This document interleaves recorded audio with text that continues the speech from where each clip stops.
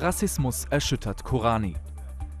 Beim Spiel gegen Torpedo Moskau seien dunkelhäutige Spieler von gegnerischen Fans provoziert worden. Das sei zum Verzweifeln. Diese dummen Leute bekomme man nicht los, sagte der Dynamo Moskau-Spieler Kevin Korani der Welt am Sonntag. Seit 2010 spielt Korani in Russland. Robben wehrt sich gegen Schwalben-Image. Bei der WM habe er einen Fehler gemacht, jetzt würde er dafür bestraft werden, sagte der Bayern-Spieler bei Sky. Der Niederländer beklagte nach dem Auswärtserfolg in der Domstadt einen ausgebliebenen Elfmeterpfiff nach einem Foul von Kölns Daniel Halfa. Völler unzufrieden. Bayer Leverkusens Sportchef hat angesichts der langen Verletztenliste bei den Spitzenclubs eine Entzerrung des Spielplans gefordert. Dieser sei zu eng, die Belastung zu hoch.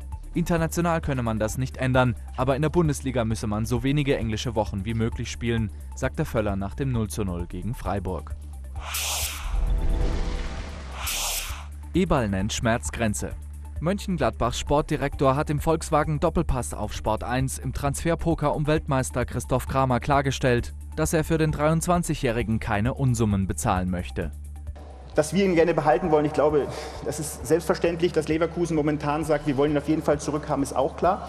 Aber Chris hat es ja auch gesagt, er möchte auch mitreden, was passiert. Er hat Verträge oder einen Vertrag dann über den Sommer in, in Leverkusen hinaus.